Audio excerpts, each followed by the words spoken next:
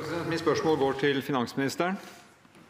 Eh, over hele landet så frykter nå arbeidsfolk, servitører, resepsjonister, treningsinstruktører, kokker, andre som jobber i små og store foretak, for at det kan komme en ny ledighetsbølge. De står i den ledighetsbølgen. Den største utfordringen Norge står overfor i dag, er en voksende sosial og økonomisk eh, krise for de som mister jobben, som er ledige og helt permitterte. Dette var en uventet situasjon da smitten traff. Vi måtte improvisere. Det kom på plass ordninger for kompensasjon. Det var en ordning som man ikke hadde prøvd før, så man måtte følge hvordan den så virket.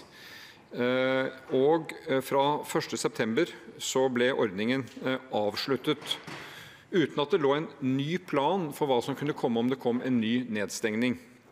På oversiktene fra Folkehelseinstituttet i april så var det tegnet ganske tydelig at det kunne komme en ny smittebølge på høsten, eh, og den eh, kom også. President. Bedrifter har måttet vente på støtte, og finansministeren har gjentatt at regjeringen vil komme med økonomiske tiltak eh, som treffer og når det trengs. Men det gjør det ikke. President. I dag går bedrifter over ende fordi også det er lokale smitteverntiltak i kommuner som er særlig utsatte, hvor dette treffer hardt.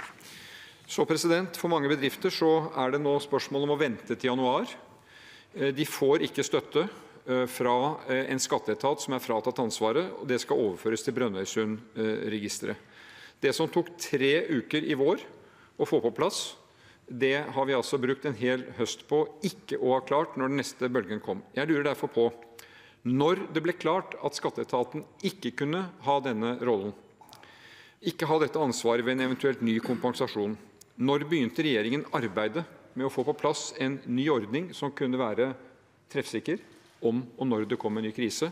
Og den kom også. president. Statsråd Jan Tore Sanner. President, eh, Vi står nå i den største krisen vi har gjort i nyere tid. Det er en global helsekrise, eh, som også er blitt en dyp økonomisk eh, krise, og som rammer arbeidsplasser og bedrifter. Regjeringen har vært veldig tydelig hele veien på at vi skal gjøre det som er nødvendig for at Norge skal komme trygt ut av krisen. Og Ifølge OECD så er Norge så langt et av de land som har kommet best ut av det, både når det gjelder helse og når det gjelder økonomi. Så er det riktig at eh, Stortinget sluttet seg til regjeringens forslag om at den gamle kompensasjonsordningen skulle avvikles eh, ved utgangen av august. og Da varslet jeg samtidig i juni at regjeringen ville sette seg ned med partene i arbeidslivet og diskutere hva behovene ville være utover høsten. Og det gjorde vi. Så svaret på spørsmålet president, det er at vi startet opp arbeidet i juni. Vi hadde møter med partene i arbeidslivet også på begynnelsen av høsten. Og vi ble enige med partene i arbeidslivet om at vi skulle få på plass en ordning som var rettet mot særlig reiseliv, som var den næringen og bransjen som var hardest eh, rammet. Så vi jobbet med en ny ordning som skulle være målrettet og tilpasset behovene. Da Norge ble truffet av bølge nummer to, så hadde vi nye møter med partene i arbeidslivet og ble enige om at vi skulle ha en bred kompensasjonsordning. Den kommer nå på plass. Den åpner 18. januar, vil ha behandlingstid på to til tre dager, kan motta eh, flere tusen eh, søknader og vil behandle de raskt, og kompensasjonsgraden er god. Men så er det ikke slik at det er den eneste ordningen for, eh, for næringslivet. Det er mange andre ordninger. Mulighet til å utsette innbetaling av skatter og avgifter. En gunstig lånegarantiordning med 90% statsgaranterte lån, som vi også har tilpasset den situasjonen som vi er oppe i. President, Alle disse møtene og dialogene de kjenner vi til. Poenget er at ordningen er ikke oppe og går når krisen treffer. Og når kommuner som Oslo og Bergen, omkringliggende kommuner, har måttet treffe veldig inngripende tiltak, så treffes de ikke. President, Hvordan lærer vi av erfaringene fra de ordningene som har vært? Vi har foreslått tiltak underveis for å sikre at det ikke blir misbruk og ikke urettferdighet i måten ordningene blir praktisert på. Vi har ønsket at det skal stilles krav til bedriftene som mottar støtte, at det ikke kommer oppsigelser i perioden hvor de mottar krisestøtte, at det ikke utbetales utbytter, aksjetilbakekjøp eller bonusordninger til ledere, eller og avtale med tillitsvalgte om å bevare jobbene gjennom perioden. Hvilke av disse lærdommene mener eh, finansministeren det nå er grunn til å ta inn i den nye ordningen? Det blir oppfattet som urettferdig at denne ordningen kan gå, komme skjevt ut, ikke treffe de som trengs. Vi må lære underveis, vi må tilpasse ordningene. Hvilke av disse kravene Arbeiderpartiet her har stilt, er eh, finansministeren villig til å vurdere for den nye ordningen? Statsråd Sanner? Ja, president, eh, Det som er underliggende i representantens spørsmål, det er hvilken etat som skal ha ansvaret. Det er regjeringens ansvar. Vi sørger for at, eh, at, at vi har en etat Eh, som er skodd for å håndtere denne ordningen. Det som er viktig for næringslivet, det er at det er en ordning som treffer.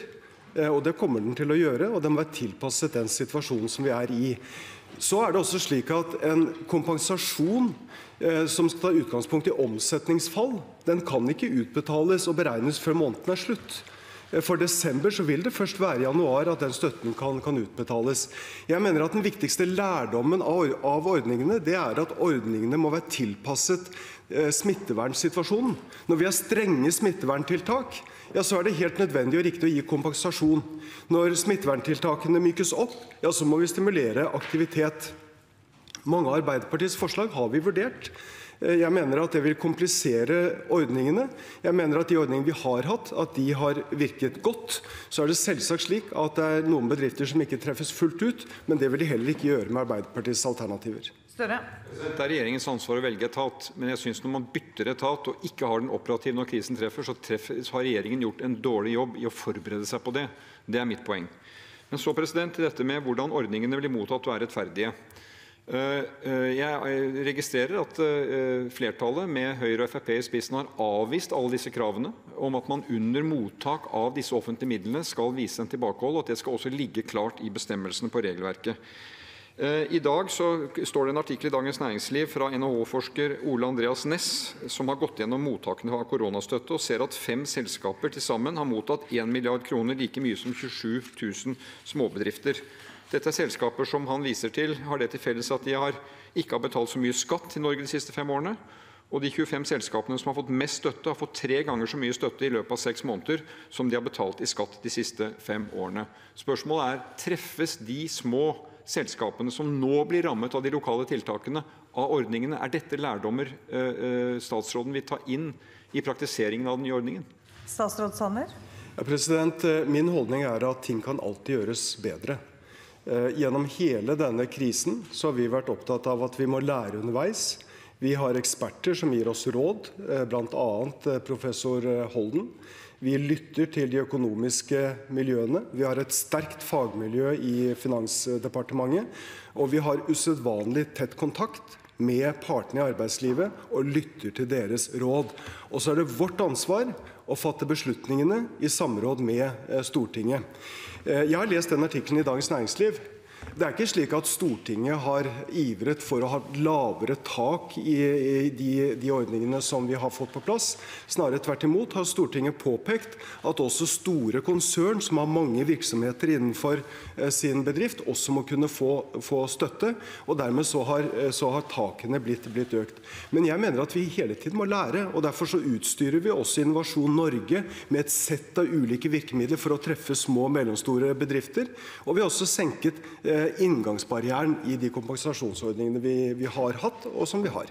Større. Dette tror jeg er viktig for legitimiteten av ordningene og bruk av så mye av fellesskapets midler. Akkurat nå, president, de som skal tilpasse til smittevernsituasjonen, så er det jo særlig små foretak i de store kommunene Oslo og Bergen og omkringliggende kommuner som treffes. Det er selskaper som fra før av hadde lite reserver, og som nå har svært lite reserver og kort vei til at de går over ende. Virke mener at én av åtte bedrifter kan stå overfor konkurs pga. det som er truffet av tiltak i november og desember. For disse bedriftene er det ingen ordninger som er tilgjengelig. Disse, disse, dette er bedrifter som rett og slett kan gå under i påvente av at den ordningen som statsråden snakker om, den etaten han snakker om, blir operativ og har tiltak tilgjengelige. Hvorfor vil ikke statsråden se på ekstraordinære tiltak for akkurat disse bedriftene, som rammes av de mest inngripende lokale uh, smitteverntiltakene? Statsråd Sanner? Jo, eh, det er vi åpne for å gjøre, men Stortinget avviste Arbeiderpartiets forslag i går. Eh, det vil jeg tro er fordi at de forslagene bare vil komme på toppen av, de andre og gjøre ordningene mer kompliserte, og det vil ta lengre tid å få til utbetalinger. Ingen av Arbeiderpartiets forslag som ble fremsatt i går, ville føre til at pengene kom raskere. De ville snarere kunne komme, komme senere. Så er det jo slik at du, Vi står nå midt i bølge nummer to. Vi står midt i krisen. Samtidig skal vi også være glad for at eh, de siste ukene så er det blitt færre arbeidssøkende. Ledigheten er gått ned siste uke, også i Oslo. Men jeg deler frykten og bekymringen for mange av de små og mellomstore bedriftene i byer som er sosialt nedstengt og andre steder. Men det er ingen av de ordningene som vi nå får på plass som utelukker de bedriftene. president. Også mulighet til utsatt skatt, avgifter, er viktige ordninger for de bedriftene. Lånegarantiordningen eh, er det et krav om at man måtte gå med overskudd i 2019, men ellers har vi myket den opp, slik at flere skal kunne bli vurdert av sin lokale bank.